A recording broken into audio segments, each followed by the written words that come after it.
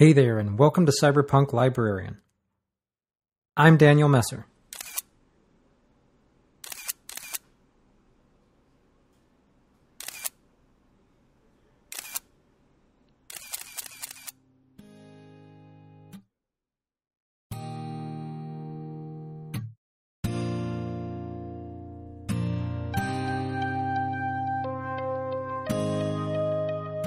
Linus Torvalds, the guy who created Linux, once said, Intelligence is the ability to avoid doing work, yet getting the work done.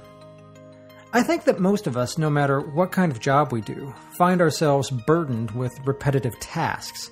They're the tasks that you have to do every day, or every hour, or once a week, or maybe there is no schedule. You just have stuff you need to do for several people, but they all need the same thing. It's just that one needs it a little differently, and yeah. In 21 years of library work, I've come across this several times and often find myself asking the same question I asked the last time I happened into this problem. Geez, isn't there a reason we have all of these computers?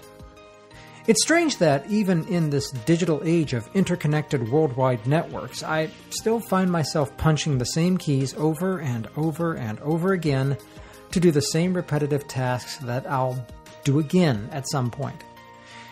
It was the same keys last week, and it's the same keys this week, and it'll be the same keys next week and the week after, and so on. Don't we have computers for this kind of thing? Oh, wait, I'm using a computer, but it still needs me to hit this sequence of keys because it doesn't know any better. That's when it becomes really useful to step back and examine that repetitive task from a different viewpoint. Break it down a bit, ask questions, and walk through it a step at a time. Maybe there is some way to automate it, or maybe there's a way to reduce the number of steps, or maybe you can change it slightly and make it easier. Either way, a repetitive task has at least one thing going for it. It can likely be optimized. After you break it down and discover exactly what has to be done, there's nothing wrong with automating your workflow to make things a little bit easier. Beyond that, automation not only speeds up the task, but it can remove avenues to mistakes, standardize the output, and tidy up something that used to be messy. So, don't get mad that the computer doesn't know any better than to automate your task. Teach it a better way.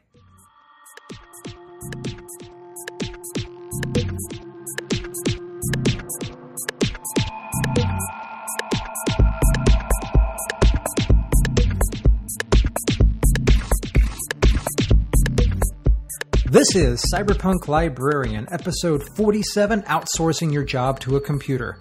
My name is Daniel Messer, your friendly neighborhood cyberpunk librarian, welcoming you back to the show that explores the intersection of libraries and technology and is all about living that high tech, low budget lifestyle. Hey there, that's right, I'm not dead and neither is the show. Cyberpunk Librarian is back on the air, running the fiber, and rolling through your smartphone into your ear holes with a brand new episode. So I had to take a bit of a hiatus to deal with some projects at home and projects at work. And there's been a few things here and there that I've been fiddling with, and with everything, finding time to research and write a new show was difficult at best and impossible at the worst.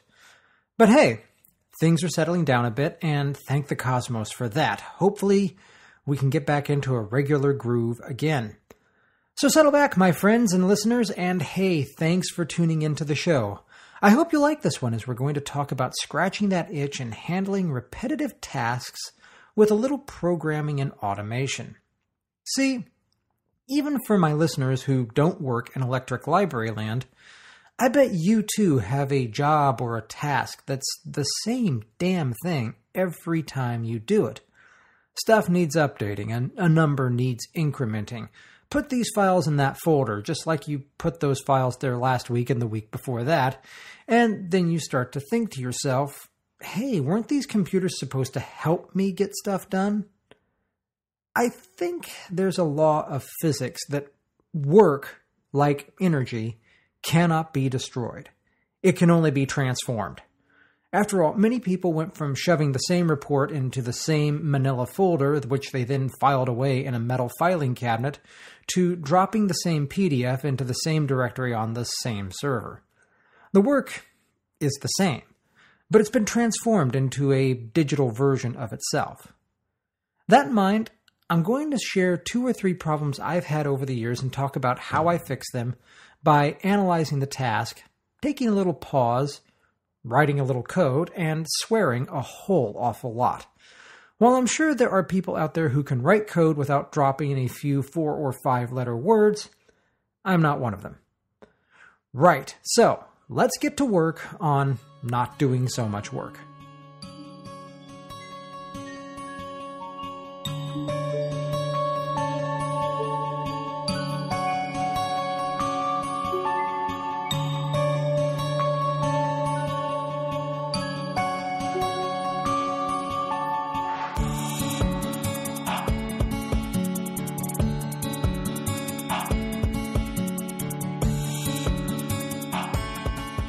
Now, before we dive in, I want to stress something. We're going to be talking about writing code and stuff, and if you don't know how to write programs or fiddle around with scripts, you know, that's fine. This is not the show that will teach you how to write code in any programming language, and that's for a couple of reasons. One, we don't have that kind of time. Two, I'm not really a developer. Sure, I know how to write code, but there are, right now, in the basements of parents' houses all over the world, kids who can write code far better than I can. Chances are, if I'm writing code, then something has gone horribly wrong, which goes back to why I'm writing the code in the first place. So I'll talk about different programming languages throughout the show, but let me try and soothe any worry with a couple of bits of wisdom. First, you don't need to be an expert to write working code. I mean, just look at me. Second, if I can do this crap, then so can you. Seriously, when it comes to being, you know, a software developer, I'm a pretty decent podcaster. Okay, moving on. Long ago and far away, I had this problem with the ILS because it didn't yet have the ability to print hold pickup slips. In case you don't know, lots of libraries have a public hold pickup shelf.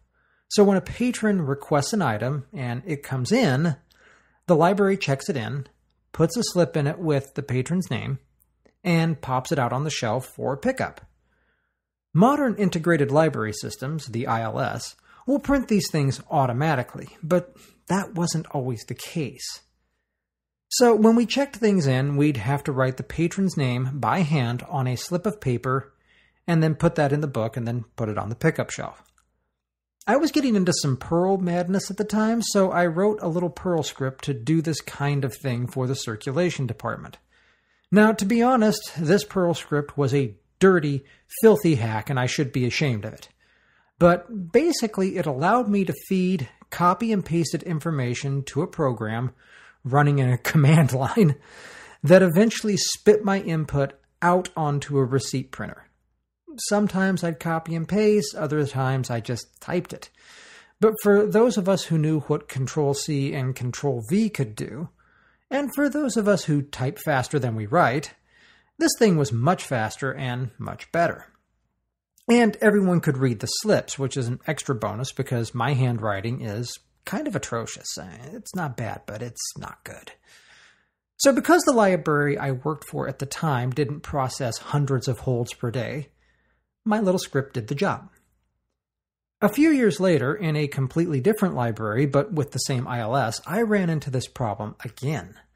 Unlike the first library, this branch was processing hundreds of holds per day, and I mean sometimes 800 or more. And guess what?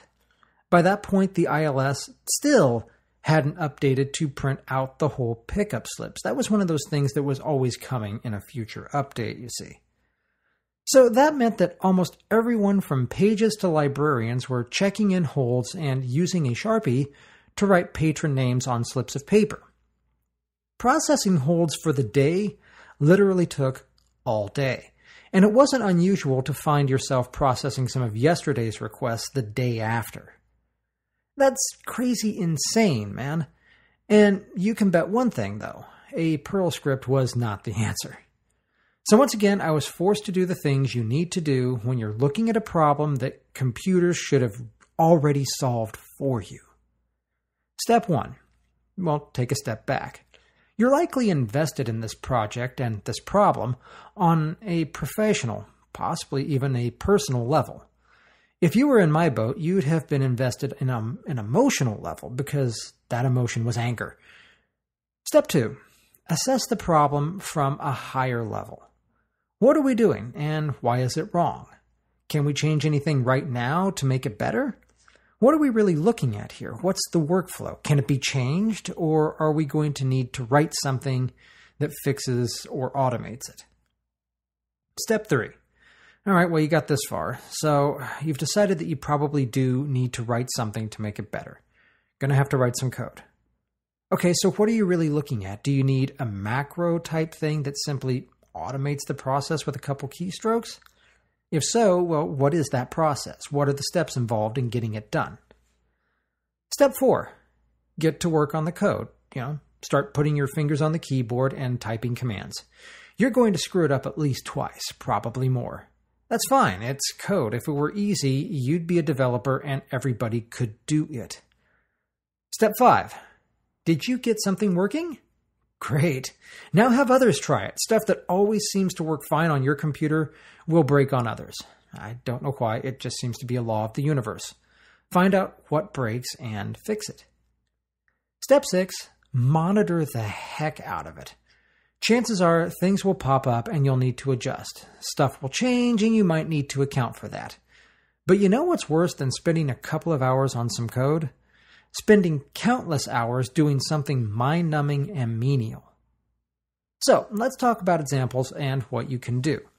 Going back to the hold slips dilemma, Perl was just a non starter in this case. The ILS had matured somewhat and was completely based in Microsoft Windows. This was around 2006, so I picked up something that was the new hotness at the time because I figured it was the best solution for the problem, or at least an avenue to the best solution. Visual Basic 2006. I'd never written anything in Visual Basic before, but I figured Basic is Basic, and basically, if I'd written basic programs in Basic, then I could write another program in Visual Basic, right? So Along with Visual Basic, I snagged a couple of books, literally off the library shelves, on how to make this thing work. So, okay, let's walk through those steps one more time with a real problem. Step one, I took a step back. It helped that I'd handled this situation before in a different way, but this time there was an urgency involved just because of the sheer number of holds.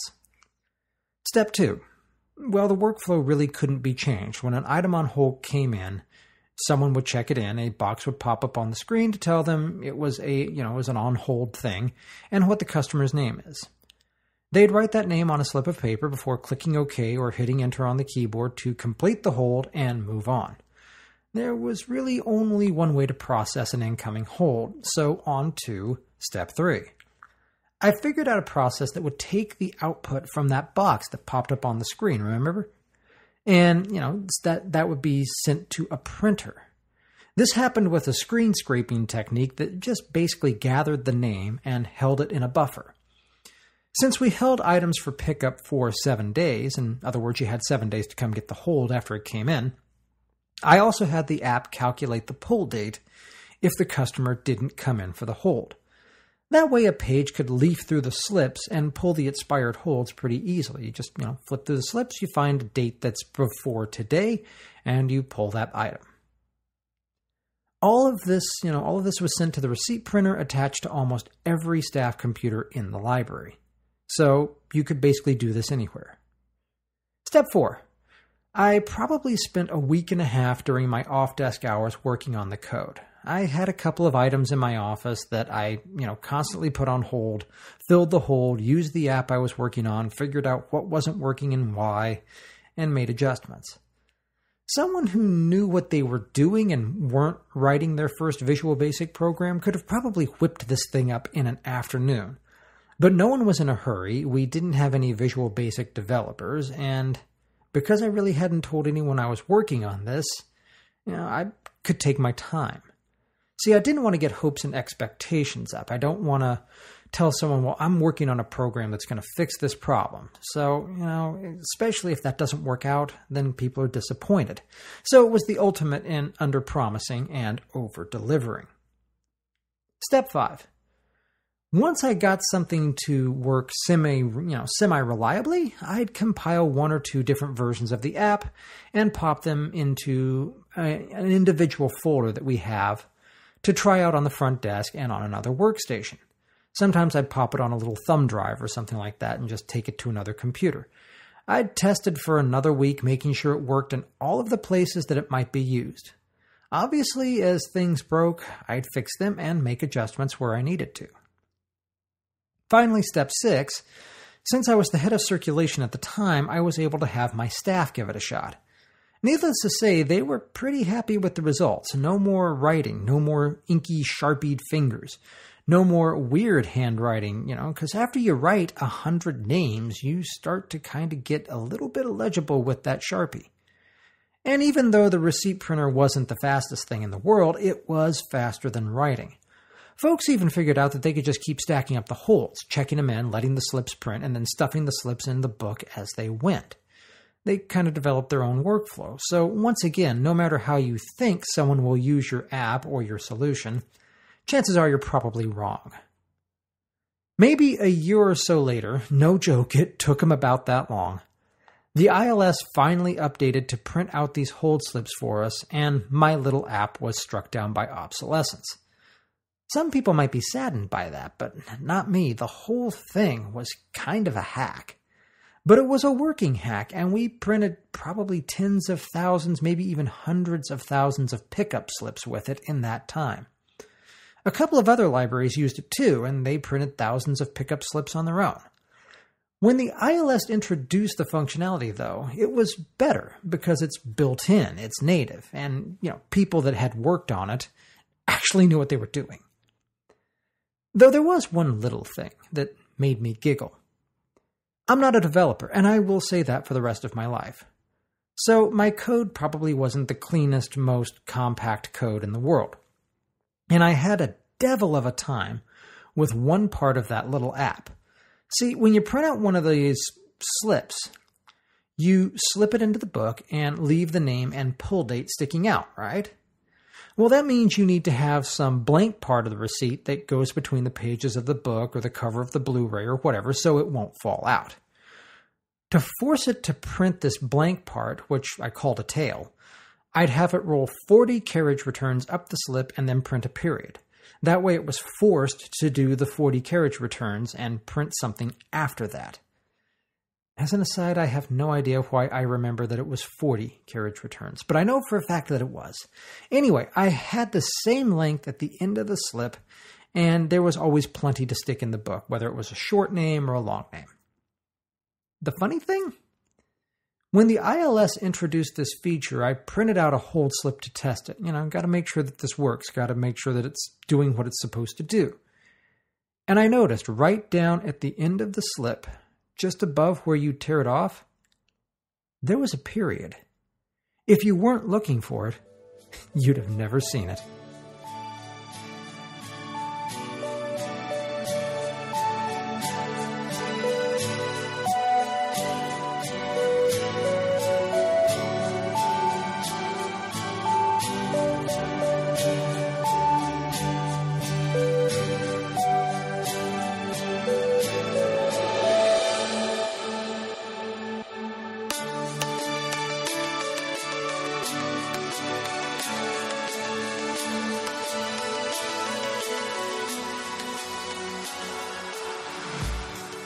Okay, so let's talk about something that you can actually have a look at.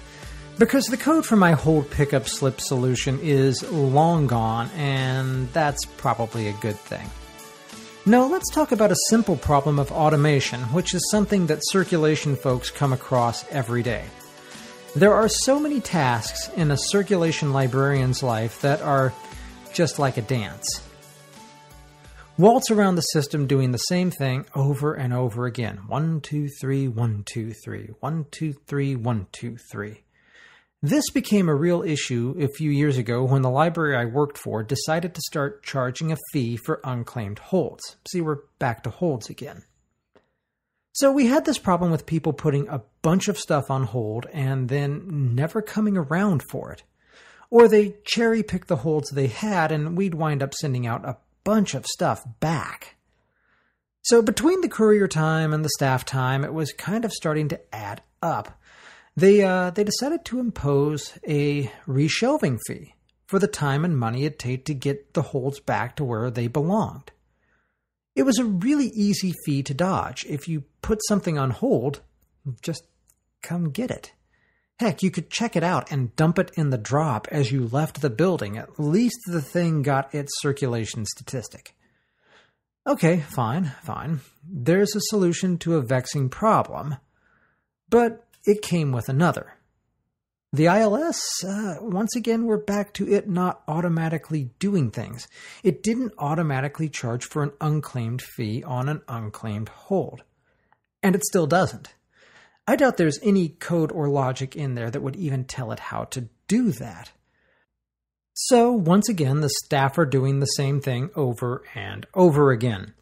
Pull the expired holds from the shelf, scan the item, see who it's on hold for, bring up their account, charge the fee, close that stuff out, check the item in to clear the hold, and send it on its way.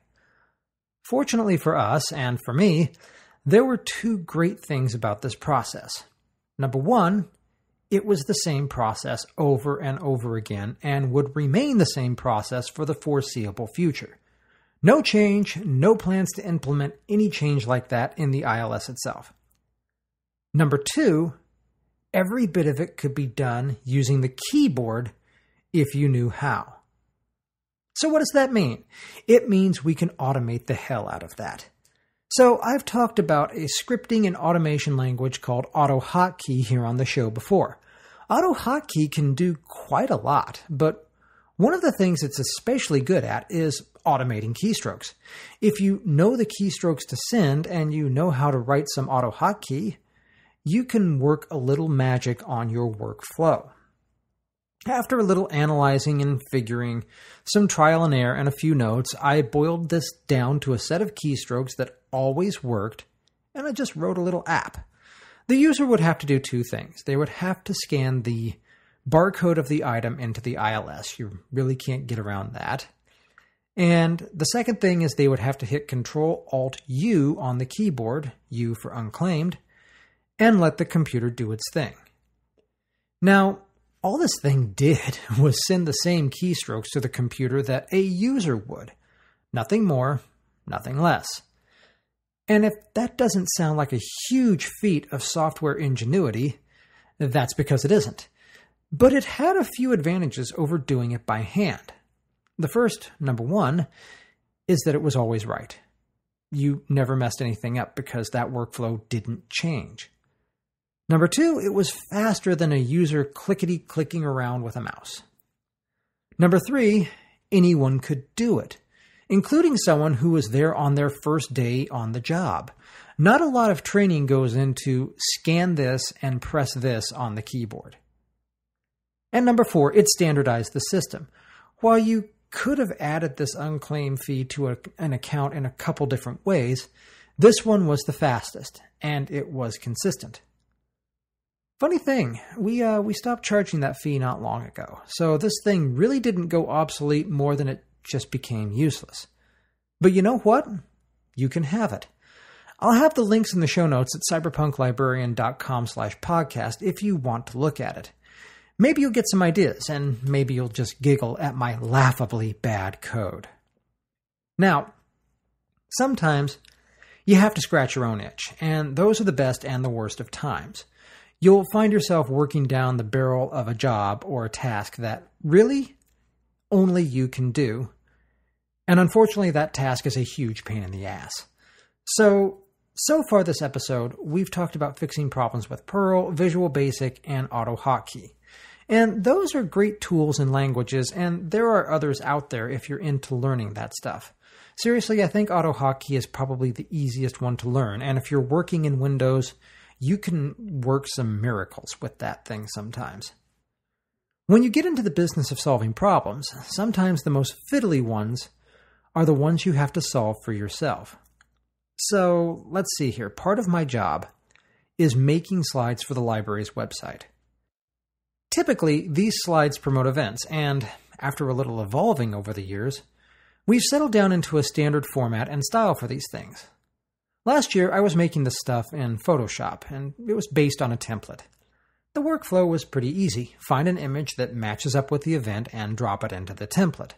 Size it up as needed, add a title where the title goes, there's even dummy text, so all you had to do was click. Then a branch and a time. There was also dummy text for that. It wasn't a lot of work, and after getting the flow down and lining up the images beforehand, I could roll out a new slide every minute or so. Not bad, especially since I was making around 40 to 60 slides per month. At a minute, that was only an hour or so out of the month. That's that's fine. Then a few things changed. The big one was a push for more events and better promotion for those events. I'm not going to bore you with the details here, but the key words are, quote, more events and, quote, better promotion. In the space of 30 days, I went from making 40 to 60 slides per month to making well over 100, and that number kept going up for a little while. It soon became very clear that my Photoshop template and an hour per month wasn't going to cut it anymore.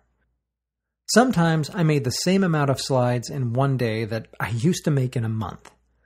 When it came to web slide creation, something had to change. Thing is, this isn't a standard automation task. Sure, the steps are mostly the same, but there was a lot of stuff that needed to be done that was sort of hands on. You had to deal with an image, you had to deal with a title and a branch and a time, and there's an informational bar on the slide that holds all the text, and that color can change. Uh, so you can change the color of that bar based on the design and the desire because one color doesn't always look good with a given picture. So there wasn't any talking to the ILS. There were no keyboard shortcuts, and the end result needed to be a PNG file. So, what do? This time I turned to something I'd never used to solve a problem like this the browser. These slides end up in a browser, and I thought it might be a worthwhile idea to start them there. But there was that problem, and it's the last part of the problem. I need a ping. The funny thing about using open source software as long as I have is that there are FOSS solutions I've used for years and don't know anything about them because they've always been built into the other things I'm using. After thinking about it for a few minutes, I knew I needed to do a couple things. I could use ImageMagick to help create this slide. So that's great, but I needed to figure out how the heck to use ImageMagick. Seriously, ImageMagick is part of a lot of open source stuff blogging engines, image editors, content managers, and so on. Lots of things use ImageMagick, and I've used a lot of things that use ImageMagick. but I had no idea how to use only ImageMagick. I know how to write a blog post, and I know how to drive, but I don't know how to take the engine out of one car and put it into another. So I spent about half a day off and on just looking at the ImageMagick documentation and trying things. I installed it on a Linux box I had lying around the office and just kept feeding it commands and seeing what it spat out. Sometimes everything made sense and I got what I wanted, and I felt a little bit of triumph there. And then I'd make a little adjustment because, you know, this thing could be tidied up a little bit. I could move this text over to here, and that would look a lot better. And then I'd screw everything up again. But after a little practice, I could make it do the thing I wanted it to do, which was to create an image the same size as the web slides and put text in the right places. After that, I uh, turned to an old frenemy, PHP. PHP is a wonderful language where the mind runs free and logic need not always apply. You can do so many things in so many ways that it's almost possible for one PHP developer to look at another's code and not fully understand what they're trying to do. It's a mess. But I kind of sort of not really know what I'm doing with it, and better yet, you can use it to talk to ImageMagick. See, that's one of the benefits of ImageMagick. It works in a lot of places. So, using PHP, I built a few pages to walk me through the process of creating a slide programmatically rather than manually in Photoshop. Since the slide has a few elements that are mostly the same from slide to slide, I created assets to help me build more slides.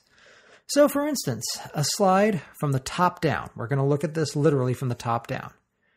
There's an image that spans the full width of the slide. Below that is a colored box and on the left, where there is the event's title, date and time, and branch. That's where that text lives. Then there's the library's logo on the right that fills out the rest of the width on the bottom. I've included an example in the uh, show notes at cyberpunklibrarian.com slash podcast.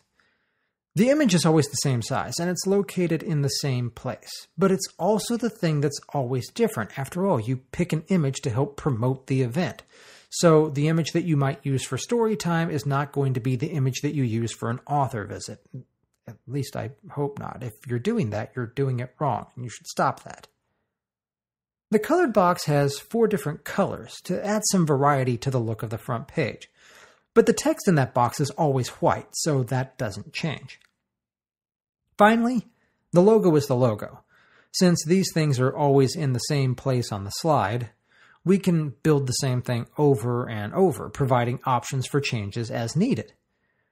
We use four different colors for that informational box, and since that box is always the same height and width, I pre built those images and popped them into the working directory on the server. Because one of the other things that ImageMagick can do, well, that's not fair. One of the many things that ImageMagick can do is build other images or build new images from pre existing images. So, okay, here's the workflow. First, there's the upload page. This is where everything starts with the image that you'll use for the slide. Given the dimensions of the finished slide, I set things up to prefer an image of 1280 pixels wide. That's actually bigger than I need, but it usually allows me to get the snippet of the image that I want. In Photoshop, I'd have to resize this by hand. Now you can go bigger but smaller doesn't work so well. The image is, you know, it's just going to be pixelated. So the image is uploaded to a server where it's temporarily stored and then passed off to a brilliant module I happened across while researching solutions. It's called JCrop.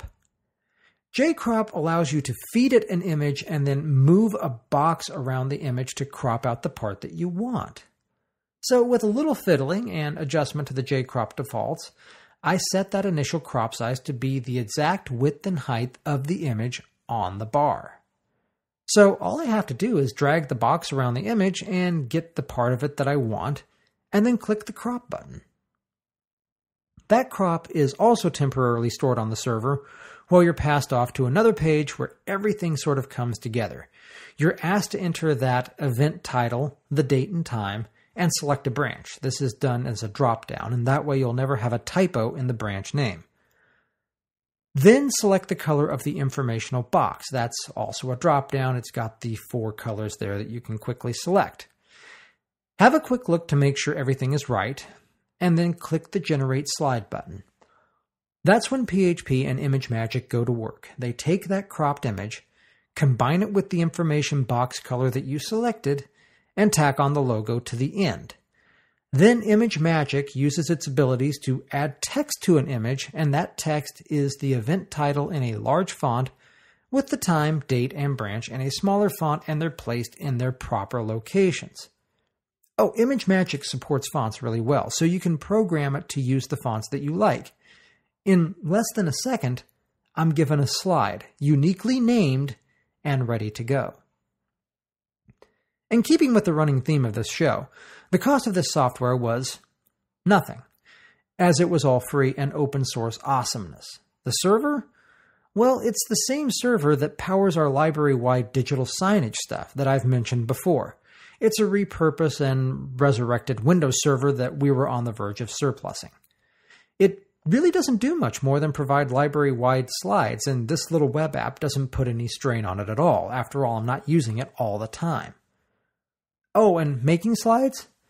Well, once I gather the images, which I just kind of do here and there throughout the day, I've got my list, I know what needs to be made, and I'll just take a few minutes here and there to pick out some images from a few public domain sites or from the stock photo sites that we subscribe to.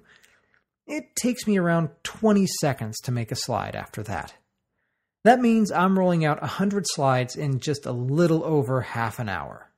See? Now that is what computers are supposed to do.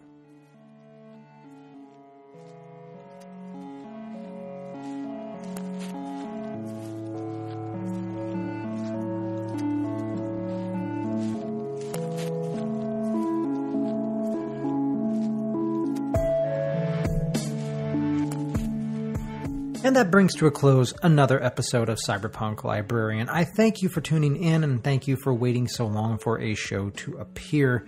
Now that sort of things are calming down, I hope I can get these things out on a more regular basis as you're supposed to do. I do apologize for that, and I'm going to try and be better about this in the future.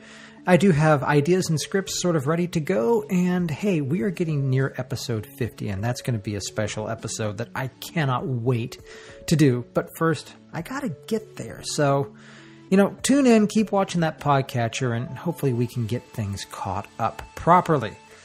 You want to check the show notes at cyberpunklibrarian.com slash podcast. The slide generator that I talked about, you'll find links to a GitHub repository there where you can download it for yourself, give it a shot, take a look and see what it does. If you've got the interest and you have to be running the Polaris ILS product, well, that might be a thing you could look into. After all, it's free and open source, and it's yours for the taking. The song you're currently digging on is Alleviation by Illusory Scapes. Earlier in the show, you heard from them with Cries of Your Love, Dance of My Imagination, and Wait for My Shadow. Great stuff that I found on the Free Music Archive. You'll find links to those songs in the show notes at cyberpunklibrarian.com slash podcast. And as always, the opening track is Belly Dance at Abisu by Ryo Miyashita. Cyberpunk Librarian is hosted by the Internet Archive at archive.org. Great people doing great things, preserving and saving internet and cyberculture. I thank the archive for not only hosting this show, but so much fantastic content and so many other podcasts. Check them out, Internet Archive at archive.org. If you like to listen to your podcast on a video site, well, who am I to judge? You can find us on YouTube at youtube.com slash cyberpunklibrarian or join us on Facebook at facebook.com slash cyberpunklibrarian. If you'd like to reach out to me online, I love to hear from you. My uh, Twitter handle is at Bibrarian. That's B I B R A R I A N. It's like librarian, but it starts with a B. You can also find me on Google Plus. I am google.com slash plus Daniel Messer or just plain old cyberpunk librarian at gmail.com. Love to hear from you, and I hope I do, and I hope that you hear from me too on the next episode of Cyberpunk Librarian, which hopefully I can get out in a heck of a lot less time than the two months it took to pick this show back up. I thank you for tuning in. I thank you for sticking with the show. I will see you around next time, so take care, and remember, you don't have to be high tech to be low budget but it certainly helps if you're a cyberpunk. Take care now.